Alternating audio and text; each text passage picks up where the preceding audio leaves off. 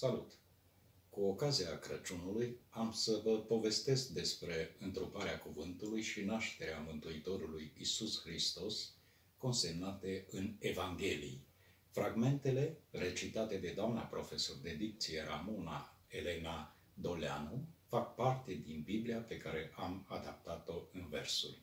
Vă doresc tuturor un Crăciun fericit! La revedere!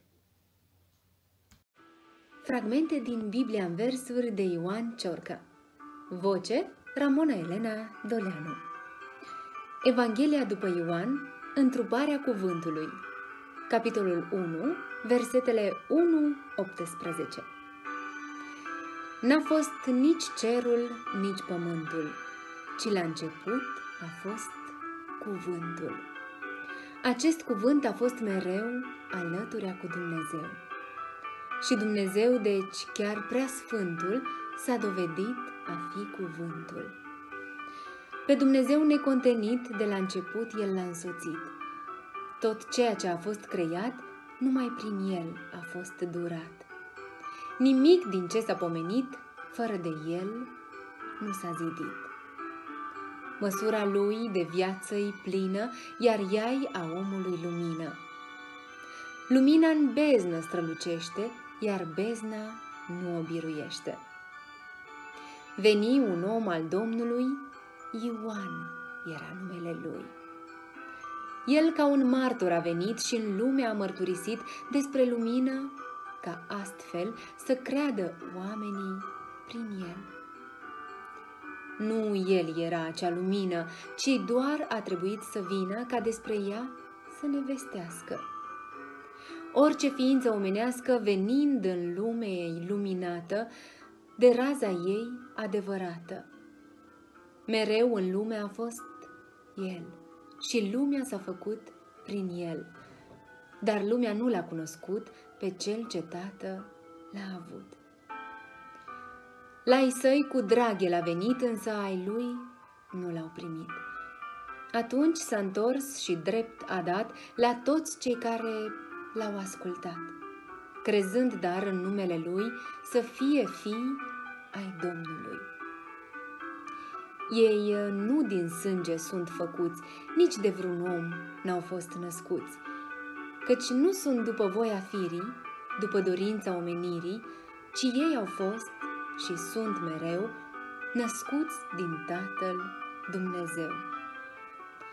Acest cuvânt s-a întrupat și în har și adevăr a stat. Aici, la noi, de-a locuit, iar noi cu toții am privit slava și măreția Lui, slavă asemeni Tatălui, care doar pe El l-a zămislit. Ioan, când a mărturisit, spusese, Despre El mereu v-am tot vorbit într-una eu. Acel care în urmă vine, e mai înainte decât mine, căci el era de la început drept primul care a fost născut. Iar noi cu toții am primit din plinul său necontenit, când a dat tuturor în dar, din harul său, har după har. Legea prin Moise ni s-a dat, har și adevăr am căpătat. Acum, prin Hristos Iisus, nimeni, așa precum s-a spus, pe Dumnezeu nu l-a văzut. El fosta făcut cunoscut lumii numai de Fiul Lui, care e în sânul Tatălui. Nașterea Mântuitorului Iisus Hristos, prezentată în Evanghelie. Fragmente preluate din Biblia în versuri de Ioan Ciorca. Voce Ramona Elena Doleanu. În Evanghelia după Matei, capitolul 1, versetele 18-25,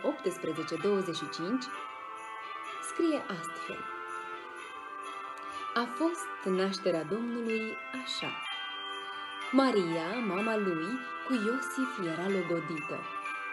Ea nu a fost încă iubită de acesta când a fost lăsată de Duhul Sfânt însărcinată. Iosif, al ei soț, se ținea neprihănit și nu voia să o rușineze. A ajuns să vrea să o lase pe ascuns și apoi ce-o fi va mai vedea. Pe când la asta se gândea, un înger îi veni în vis, trimis de Domnul și i-a zis Să nu te temi să-ți iei soția, ia-o la tine pe Maria, căci ce în ea s-a zămislit e de la Duhul Sfânt venit. Un fiu Maria o să nască, Iisus are să-l numească, el își va mântui poporul, căci el este mântuitorul. Acestea s-au înfăptuit pentru a fi îndeplinit ceea ce Dumnezeu vestise de mult în vremea îndepărtată. Fecioara fi va însărcinată, un fiu ea o să zămislească, Emanuil o să-l numească. Numele înseamnă tălmăcit, Domnul cu noi. Când s-a trezit Iosif din somn, grabnic s-a dus și a împlinit ce i s-a spus. Nevasta nu și-a cunoscut decât după ce a născut un fiu, căruia el i-a pus îndată numele Isus. Și apoi, în uh, Evanghelia după Luca, capitolul 2, versetele 1-7, scrie așa. În vremea aceea a ieșit un ordin ce a stabilit că toată lumea să se înscrie, deci un recensământ să fie, Cezar August fusese cel ce hotărâse în acest fel. Primul înscris pentru popor a fost ținut când regător peste întinsa Siria era Quirinius. Se ducea întreaga lume să se înscrie, adică după seminție. Îi venea rândul omului să urce în cetatea lui. Din Nazaret, din Galileea spre Betleemul din Iudeea, plecă și Iosif să se înscrie, pentru că după seminție era din a lui David casă. Cu el porni la drum voioasă Maria, logodnica lui, deși împlinirea timpului când trebuia să zămislească urma în curând ca să sosească.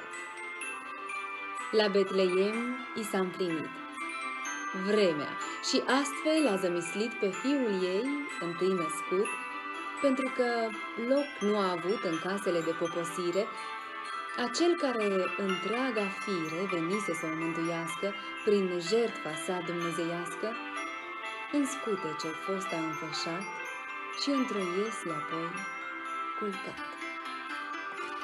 Vă mulțumesc pentru atenție și vă doresc sărbători cu armonie în suflet.